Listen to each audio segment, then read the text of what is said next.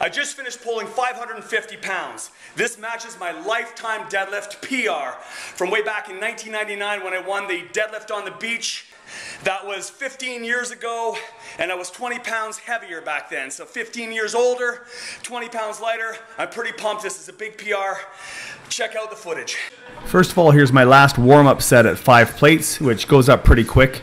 Now, as far as sharing a training tip for this video, uh, it would just be the uh, the old uh, KISS philosophy. I mean, I've tried uh, doing lots of different deadlift variations, squat variations, tons of assistance work, uh, pulling from different ranges, and that all has its place. But really, I've always got the best results when I went back to the basics. When I cut back all that accessory work and focused on you know the primary exercises. You know, pulling heavy once a week.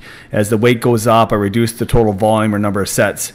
Uh, at least that's what worked for me, and that's basically the Barbarian Strength program that I've been following uh, in the past and always got the best gains with that. All right, let's see this pull.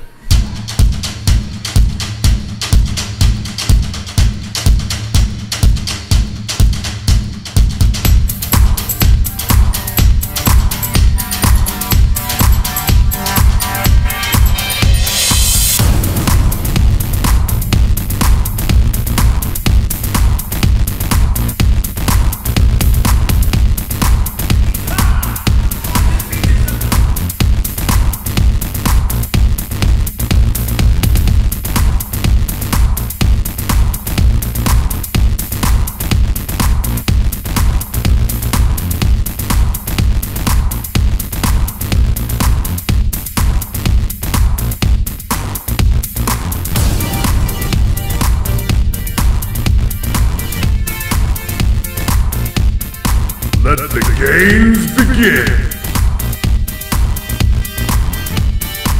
I'm looking forward to the 500, but I'm going to pop an ammonia capsule here. Just give myself that extra boost. Fire it up a little bit here. And lock it in. Here we go.